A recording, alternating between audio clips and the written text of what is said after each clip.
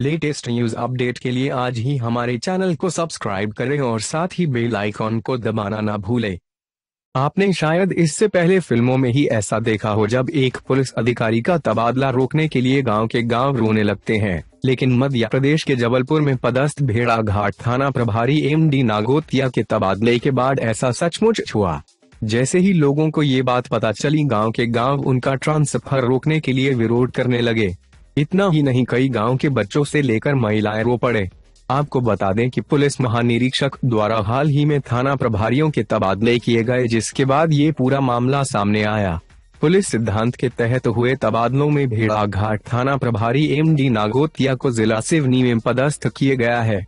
नागोतिया के ट्रांसफ़र होने की जानकारी मिलते ही उनके थाना क्षेत्र में आने वाले ग्राम सिहोदा के साथ आधा दर्जन से अधिक पंचायतों में विरोध उबलने लगा है। सिहोदा गाँव के सैकड़ों बच्चे, जवान और महिलाएँ टीआई से मिलने थाना पहुँचे, लेकिन अस्वस्थ होने के कारण नागोतिया गाँव वालों से नहीं मिल सके।